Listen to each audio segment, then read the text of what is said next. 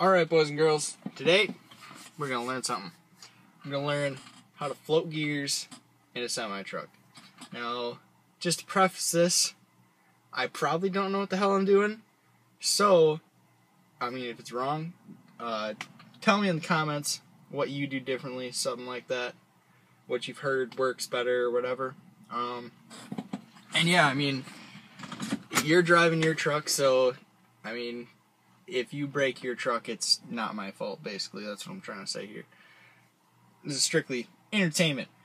Uh, now, I guess the the way that we can start this off is like the what, why, when, and how of why you float gears. Uh, what is floating gears? So, very simply put, floating gears is shifting gears without using the clutch, which sounds a little difficult, but and I mean, at first it is. It takes a little bit of a there's a little bit of a learning curve there, but once you figure out exactly what's going on, and if you know how to double clutch, you could probably float gears. It just feels really weird to not use that left leg for a second, so it takes a little getting used to. But the so that's our what, what, when, why, and how. Uh, when when would you float gears? Obviously, when you're when you have double clutching down. I mean, some guys I mean, old school guys, they say that they didn't even learn how to double clutch, so I mean, props to them or whatever. But a lot of us new school guys, we learned to to double clutch, and once you have that down, it's a whole lot easier to learn how to float gears because you kind of understand where gears are at and you know how much time you have to wait in between gears, all that stuff, based off of different ratios between gears. what else was I gonna put in there? Hmm. Can't remember what, when, why, and how. So why you float gears? A lot of guys, a lot of guys want to make up uh, a bunch of weird excuses for why they float gears and oh it protects the transmission if you do it right and I mean there's some sense in that. If you're if you're really bad at double clutching, you have a potential of, you know, screwing up a clutch, you have a potential of blowing out U joints, you know, I mean, maybe even differentials, stuff like that. Just all sorts of weird things can happen, and floating gears can eliminate that if you're good at shifting already. But for the most part, the reason myself why I do it is because it's a whole lot smoother than uh, double clutching. It's really hard to to let the clutch out at the certain at a certain time, especially in the lower gears. It's really hard to catch it at that perfect time where it's not gonna you know shake the truck up and down. So it's really hard to time like that. So that's that's kind of why I float gears personally. It's it's just a whole lot easier and a whole lot more comfortable to do. And I mean, if I had to go back to double clutching, I'd probably have probably have a pretty difficult time of doing it. I haven't done it in a while, but I'm sure you know a couple of weeks I'll be back into it. What was the other part of the why that I wanted to put in there? Hmm. That's right. Wait with this guy. Um, so the how. The how part is the most important part. It's probably why you're at this video right here, right now.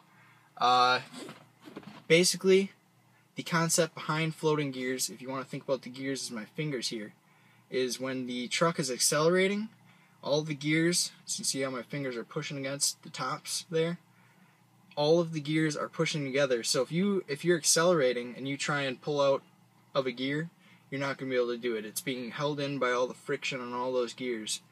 And the concept behind floating gears is there's a space when you let off when you let off the gas pedal. Whatever kind of pedal you want to call it. You know what I'm talking about. When you let off, there's a space right here, right in there that's all you're looking for. That little space right in the middle there where the gear is free. If you wait too long, it's going to be, you know, hitting hitting the backside of that gear. So the concept is is you want to catch it right in between there. And basically, when you're first learning, it's very easy to just put a little bit of pressure. We're not talking a lot of pressure. We're talking like a finger worth of pressure. We're talking like just just a little little pull on it. That's all. Just to get it out of gear. And when you first start, I don't believe I don't believe I did this. but I would highly recommend it, is floating out of a gear and clutching into the gear. And the reason why I say that is because uh, when you're first learning how to float gears, you are going to mess it up.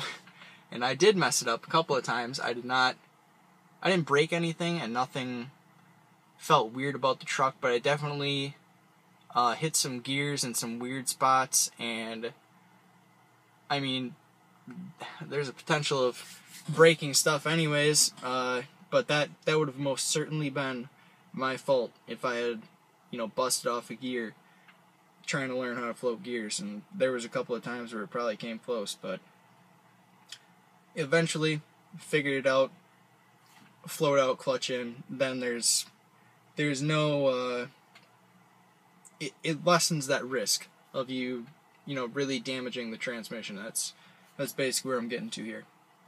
So basically, pretty sure that's all I want to put into that section there. Um, I don't believe that there's anything I left out when I have my passenger come back, get some footage for you of just floating gears so you can see exactly what it's look like and I'll you know try to explain myself as we're going along here basically just you know the the basics of what's going on probably not gonna be able to do it uh, as quickly as I actually float the gears but um, yeah we'll show you a little bit of that so you know what it looks like and yeah, I mean, hopefully this is entertaining to someone or whatever. And yeah, we'll get to that in a second. Just crank this thing up. I don't what to tell you. You got to start off putting the clutch in. Otherwise, it's obviously not going to go into gear.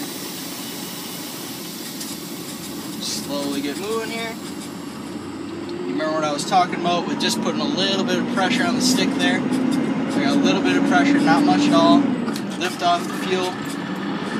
Just slide it right back into the next gear there. Go to the next one, a little bit of pressure, right into the next gear. Course, as anyone who's driven a semi truck knows, is some gear ratios are different than others. So you gotta wait a little bit more time in between certain ones. And if you miss a gear, go back to the basics. For the love of God, just go back to the basics. Rev it up, put the clutch in, and just try and get back in the gear and get going. You see, that's all it really takes is that much pressure right there, just to pop it out of gear.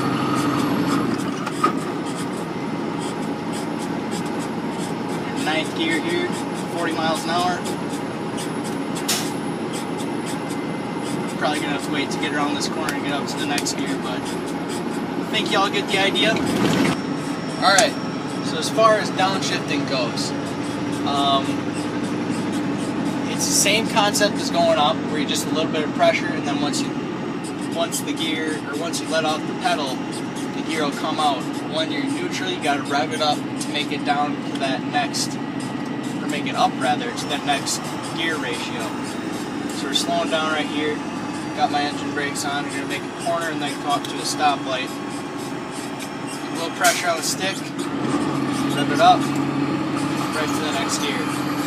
You never, ever, ever, in any circumstance, want to force a gear in, and that's most likely going to happen when you're going down because you're going to probably miss it when you first starting out.